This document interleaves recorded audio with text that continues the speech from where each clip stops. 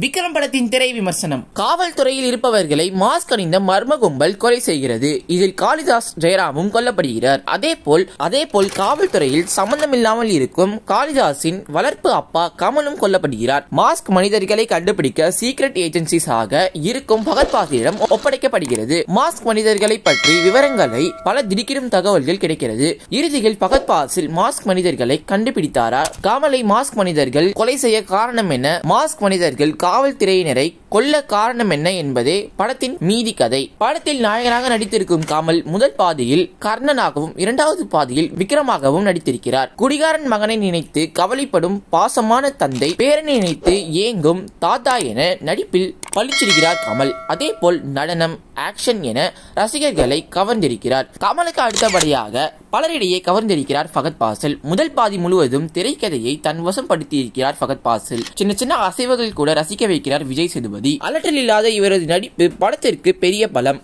காயத்ரி மைனா சிவானி ஆகியோர் கொடுத்த வேலையை செய்திருக்கிறார்கள். போதைப் பொருட்களை மையமாக வைத்து ஆக்ஷன் சென்டிமெண்ட் பலிக்கு பலி என திரைக்கதை அமைத்து படத்தை இயக்கியிருக்கிறார் இயக்குனர் லோகேஷ் கனகராஜ். கதாபாத்திரங்களிடையே திறமையாக வேலை வாங்கியிருக்கிறார் இயக்குனர். அனிருத் இசையில் பாடல்கள் அனைத்தும் சூப்பர் ஹிட். பின்னணி இசையும் அதிக ஸ்கோர் செய்துள்ளார். கிரிஷ் கங்காதரனின் ஒளிப்பதிவு சிறப்பு. மொத்தத்தில் விக்ரம் படம் மாபெரும் வெற்றியடைய வாழ்த்துக்கள்.